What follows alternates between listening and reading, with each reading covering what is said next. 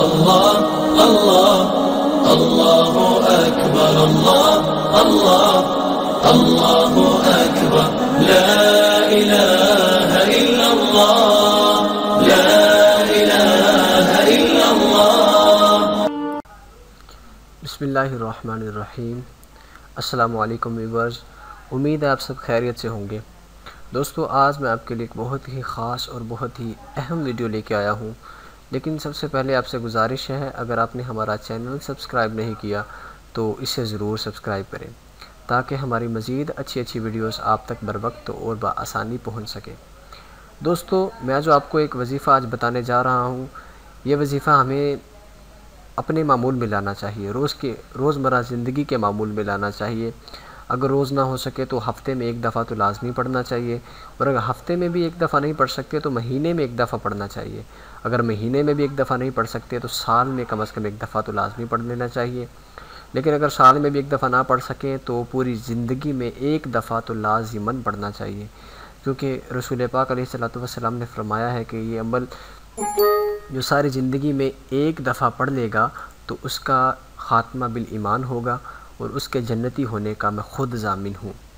وہ کون سی چیز ہے؟ وہ رسول پاک علیہ صلاۃ والسلام نے فرمایا کہ وہ عہد نامہ ہے۔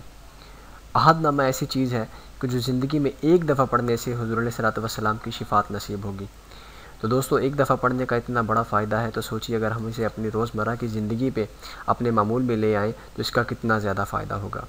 اگر روزمرہ کی زندگی میں لے آئیں تو عہد نامہ کی اللہ تعالیٰ نے ایک صورت بنائی ہے کہ جو قبر میں انسان کے پاس رہے گی۔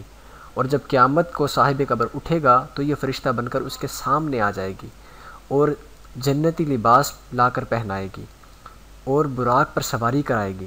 حق تعالیٰ فرمائے گا، اے بندہ مومن، تیرے ساتھ عہد نامہ ہے، تو آج خوش ہو کہ تو دنیا میں ہر روز اسے پڑھا کرتا تھا۔ آج میں اس عہد کی وفا کرتا ہوں، تاج سر پر رکھ، جنتی لباس پہن، براق پر سوار ہو اور بغیر حساب و کتاب کے جنت میں داخل ہو جا۔ اور تو جس جس کی شفات کرے گا میں اسے بخشوں گا۔ دیکھیے کہ اللہ تعالیٰ یہ کتنا بڑا مقام عطا کرے گا۔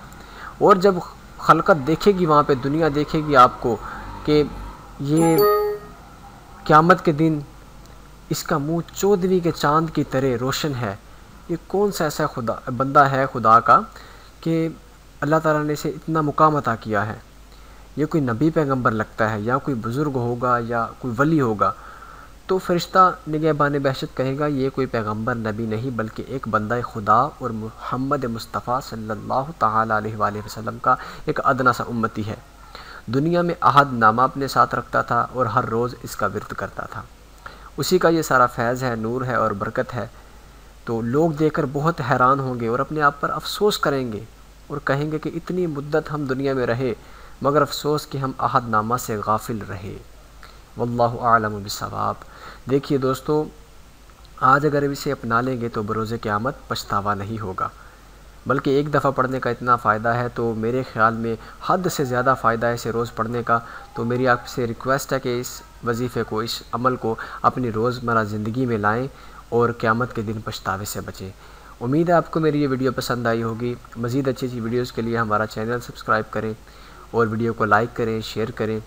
اور اس کے علاوہ آپ کے ساتھ اگر کوئی مسئلہ، کوئی پریشانی دینی لحاظ سے، کوئی وظیفے کے متعلق آپ نے کوئی انفارمیشن آپ کو چاہیے ہو یا کسی طرح کا روحانی مسئلہ ہو تو آپ کمنٹس میں ضرور لکھے گا۔ انشاءاللہ العزیز، میں آپ کا وہ مسئلہ حل کرنے کی پوری کی پوری کوشش کروں گا۔ اگلی ویڈیو تک کے لیے مجھے اجازت دیجیے اللہ حافظ۔